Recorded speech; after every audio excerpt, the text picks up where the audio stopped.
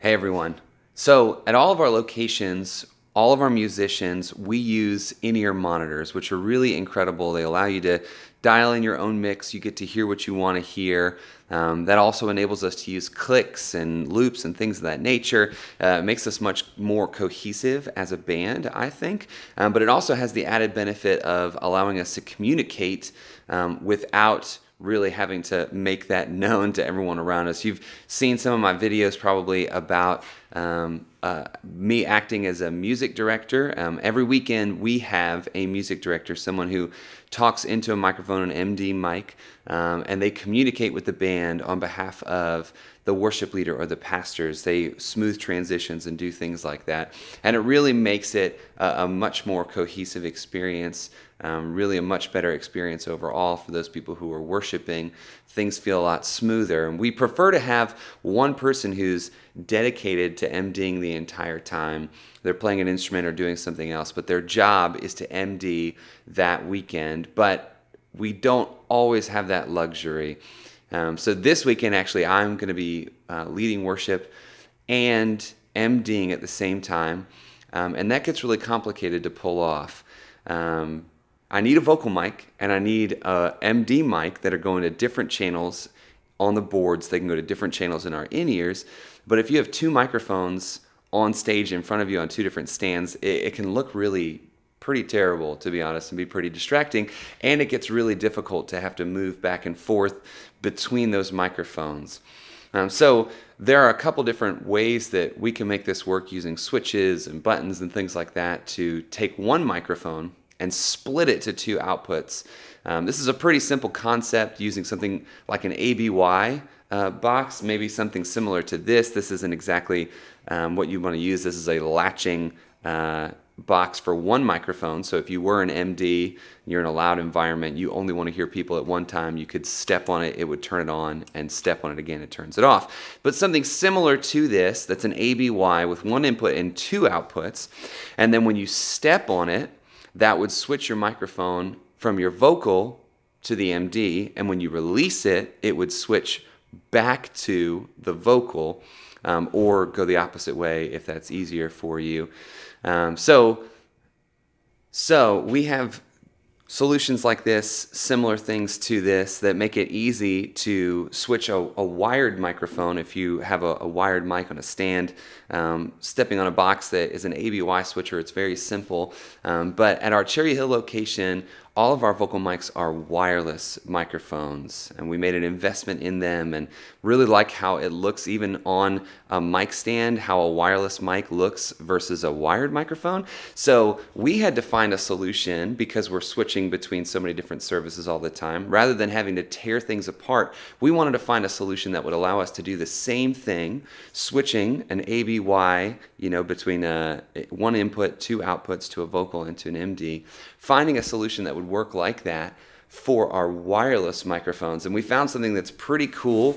Um, these boxes from Radial, this Relay XO switcher, um, and it has a little remote that plugs into it that allows us to do the exact same thing, but have a wireless microphone so everything looks a lot cleaner and you're using a wired remote on the stage. Um, so let me just open this up and show you a little bit about it and how it works.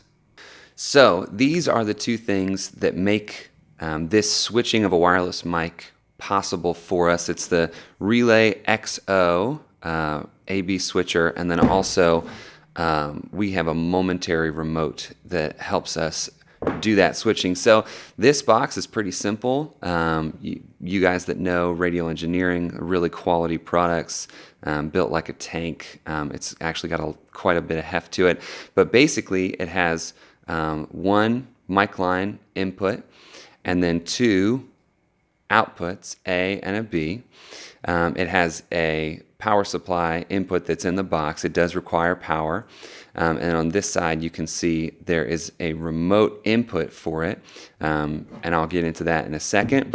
And on the side here, you can do a ground lift or you can choose um, kind of which is switching. So when you click on the remote, is it switching A to B or is it switching B to A? You can kind of change that back and forth. So it's a very simple um, concept. It's just an ABY switcher with a remote, and then this is the remote. They make um, two different versions, a momentary and a latching version. Um, so really the difference is there. The momentary is when you are stepping on it, it is switching. When you let go, it releases, it goes back to the normal setting. So that's momentary um, versus latching. Um, which is actually a, a, different model entirely. When you step on it, it switches, and then when you step on it again, it releases. Very similar to that other uh, little pedal that I showed you before. So it's really just that simple. Um, we come out of our wireless mic into this input and then split the two outputs. Um, so let's actually go on stage and I'll show you what that looks like and how we set that up.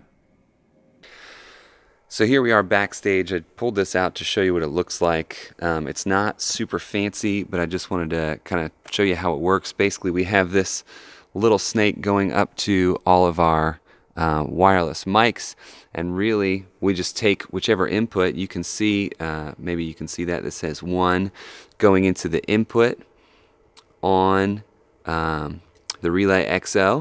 and then we have two different outputs going out those two outputs one of them is going to a, a channel that we're using for MD and one of them is going right into one which is just how we have our microphones set up. So it's very simple.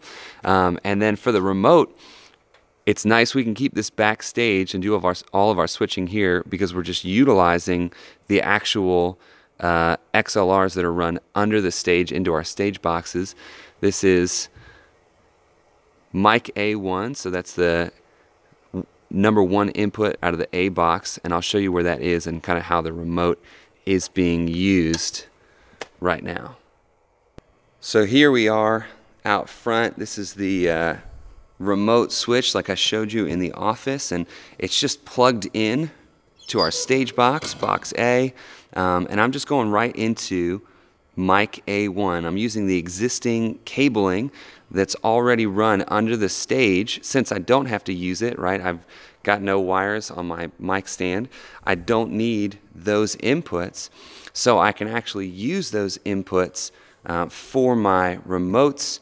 Um, and if I wanted to switch to a different place on the stage, there's other boxes throughout. That's box B for us. Um, and so I can easily just run that to a different location, change the remote input on the Relay XO backstage, and, and that's about it. So that's really it. It's a pretty simple concept overall. It may seem a bit complicated. Um, I realize the comments are down below are probably going to be why don't you just use a wired mic? It's just our preference. That's what we like to do is have wireless microphones. Plus we like the capsules and how they sound. So this enables us to do that. Um, it enables us to give anyone the opportunity to switch back and forth and it's easy to change in between our services depending on um, if there's going to be an auxiliary MD or if it has to be one of the worship leaders. So um, that's how we do it. That's how we use the Radial XO switcher and the JR1M remote. I, I hope that that helps some of you out and maybe you can put this into practice on your own.